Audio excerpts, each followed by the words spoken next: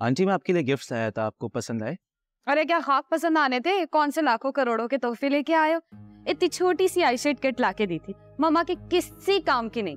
अगली बार जाओ ना तो महँगे और कीमती परफ्यूम लेके आना। मुझसे नाम ले लेना एक दो के। मैं ज़रूर ला दूँगा। आंटी मेरी ख्वाहिश है कि मैं अपनी अम्मी को ले आऊँ आपसे मुलाकात के लिए। एक्चुअली मैं चाह रहा था कि कम से कम मेरी और अक्षय की इंगेजमेंट हो जाए।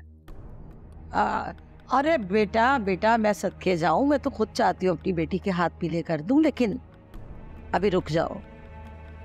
हाय, क्या बताऊँ तुम्हें, हाथ बहुत तंग जा रहा है हमारा। जैसे मंगनी होगी, उसके बाद फिर शादी की तैयारियाँ करनी होंगी।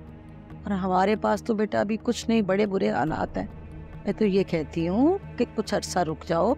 जैसे मेरी बीसी खुलती है छठ मंगनी पट ब्याह अरे आंटी, आप खर्चों की फ़िक्र क्यों कर रही हैं? मैं उठा लूँगा ना शादी का सारा खर्चा। अरे छोड़ो बेटा, ये कहने की बातें होती हैं। अभी फ़िलहाल तो बड़ी मुसीबतों में हम फंसे में हैं। खैर, अल्लाह तुम्हारा भला करे।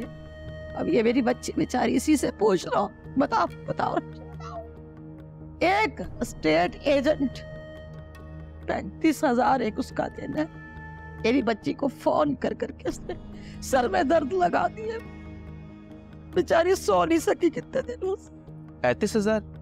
बस पैंतीस हज़ार की तो बात है। मैं दे दूँगा ना पैसे। मामा वो किरियाने वाला। जितनी बार गुजरो ना उतनी बार बातें सुनाते हैं अपने दस हज़ार रुपए के लिए। से मदद करने चाह ही रहे हो ना हमारी तो पचास हज़ार रुपए की कर दो। हैं? जैसी बीसी खुलेगी ना एक एक पैसा गिन के वापस करेंगे तुम। ये कैसी बातें कर रही हो रक्षी? तुम मुझे ऐसा समझती हो? मैं तुम्हें पैसे दे के वापस थोड़ी ना लूँगा। या अल्लाह तेरा लाख लाख शुक्र है। तूने सलमान बेटे की शक्ल में एक फरिश्ता भेज दिया। अल्लाह तुम्हें बहुत दे मेरा बच्चा। अच्छा अब बातें लेके बैठ गई हूँ। चाय लाती हूँ अपने बच्चे बेटा बिस्किट नहीं होंगे शायद पत्ती है या नहीं बस बुरे हालात है अब तुम जानो यो रक्षी बताओ। जी। रक्षी तुम बातें बातें करो। अब तो रिलैक्स हो जाओ तुम। थैंक यू सलमान लेकिन वादा है मैं जैसे पंद्रह हज़ार रुपए लौटाए थे ना तुम्हें बिल्कुल उसी तरह सारे पैसे वापस करूँगी। एक तो तुम हिसाब किताब बहुत रखती हो। तुम्हें पता है दुबई में मेरा एक दोस्त है।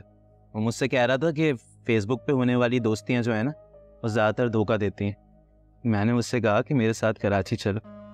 मैं तुम्हें रक्षी से मिला तुम्हें हाय अल्लाह कितने भोले हो तुम। तुम्हारी मासूमियत और सादगी देख के तो कोई भी मुतासर हो सकता। Bye.